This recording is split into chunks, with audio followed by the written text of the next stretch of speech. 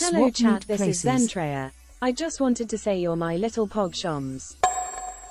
I would prefer you not asking anything at all. These are my social distancing wings.